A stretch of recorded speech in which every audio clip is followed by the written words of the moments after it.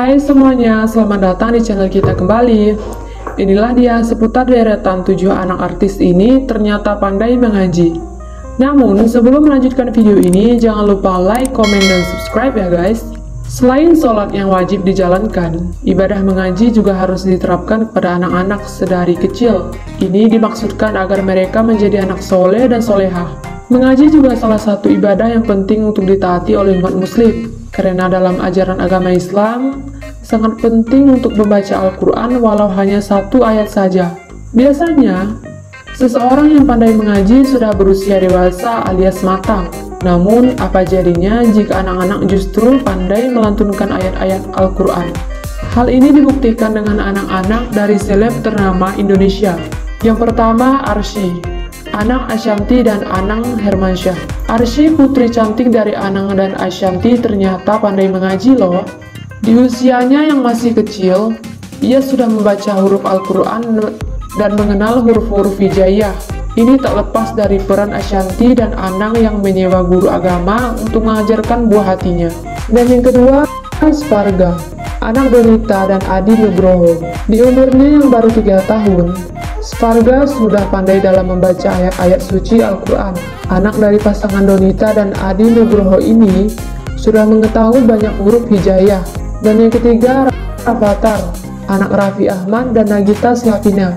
Meski Raffi Ahmad dan Nagita disibukkan dengan aktivitas sebagai artis, mereka tak lupa memberikan ajaran agama kepada Rafathar. Alhasil, kini Rafathar sudah mahir mengaji. Raffi sampai memberikan guru khusus untuk mendidik agama kepada Rafathar. Emang Rafathar ini anak soleh banget ya.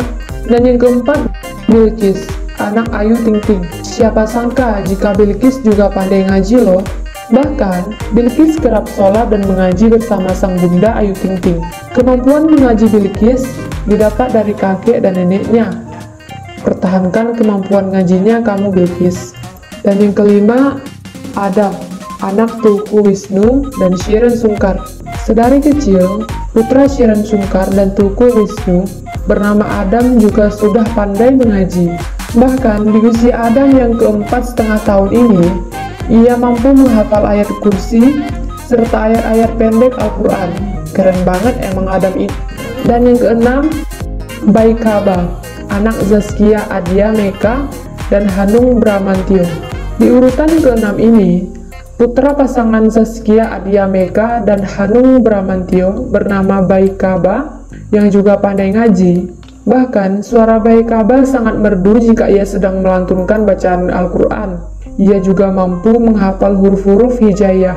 Dan yang ketujuh, Muhammad Dirgantara, anak Dude Harlino dan Alicia Sobandono.